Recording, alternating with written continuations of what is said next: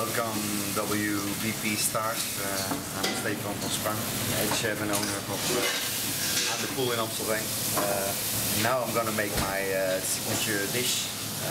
This dish is already for uh, from the beginning of the restaurant we started it and always I think yes I'm gonna change this dish but my guests asked for the lobster with the curry and macadamia Uh, it's very simple but very good so this is the tartare of lobster with a little bit of uh, little bit of lime we use this piece of uh, mayonnaise which are so this is some uh, macadamia nuts, so it's uh, deep fried.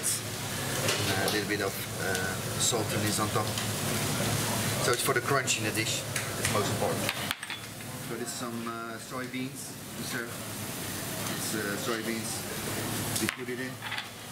Uh, then we have uh, this uh, roasted uh, spring onions and uh, yes, spring onions roasted with a little bit of butter and also a little bit of garlic because I think that's important, not too much.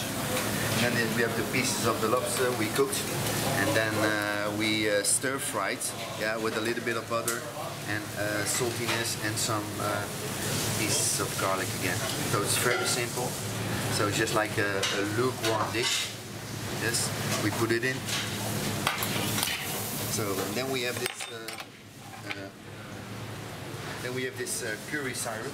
Yeah, so it's uh, heavily reduced uh, curry powder and some uh, apple juice, and it makes it a little bit spicy, a little bit sweet, a little bit uh, freshness. So it's on top of the lobster.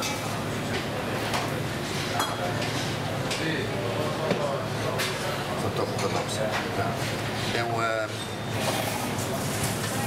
so uh, we always serve some sauces in our restaurant. So uh, we serve a little bit of the crisps, and the crisp is in, uh, important. Yes, because I love some uh, macadamia. Put it one on top. And this is the sauce we serve in the restaurant, and this uh, the base is beurre blanc because uh, we use mirin, and mirin is the, the sweet rice wine we use. So uh, a little bit of uh, Asian style. Put it in the middle